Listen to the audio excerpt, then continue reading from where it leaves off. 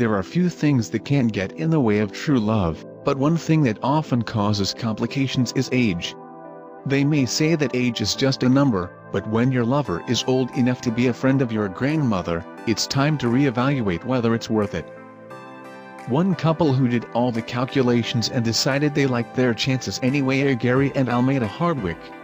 With 53 years between them, it's safe to say that they are an unconventional couple, and that's not to mention how quickly the pair decided to get hitched.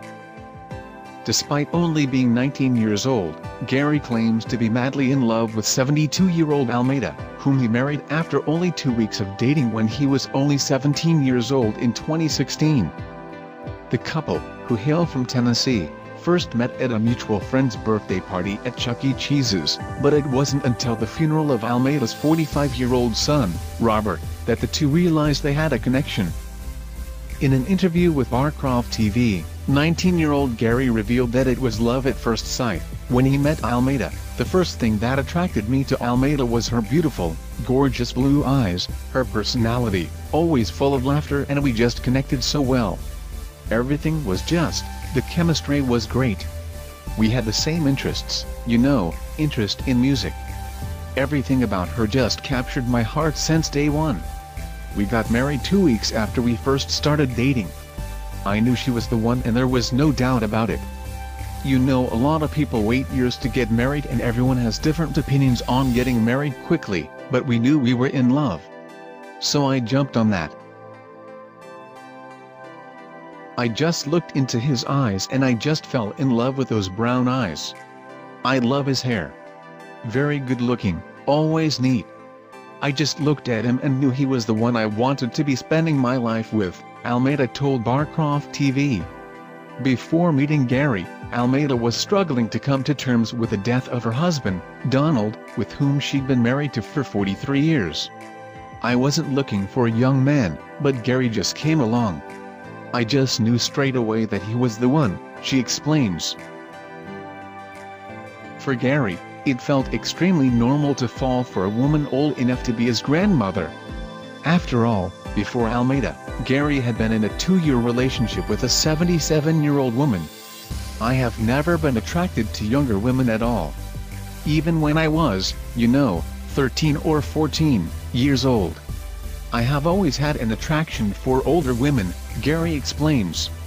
I am really mature for my age. I don't fit into the young age bracket at all.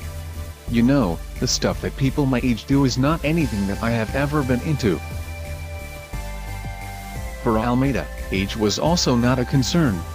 I was never intimidated by age at all, she says. I am never afraid of Gary going off with anyone else. He loves me and he doesn't like younger women anyway.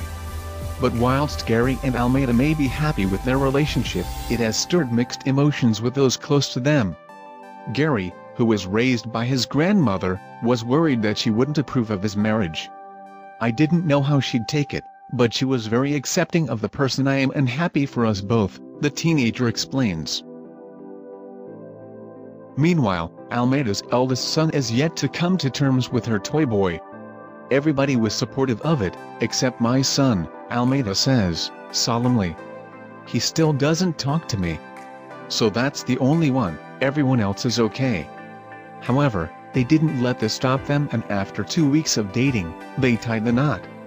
The first time we made love was on our wedding night, admits Gary, with a grin. It was an amazing experience and there was such a deep connection there. Very, very deep connection between both of us, just very amazing. She is a wonderful lover. Despite her son's opposition to her relationship, Almeda's grandchildren remain supportive. I only called him grandfather once, when I was drunk. In my head, I see him as more of a friend than a grandfather, explains 22-year-old Aaron.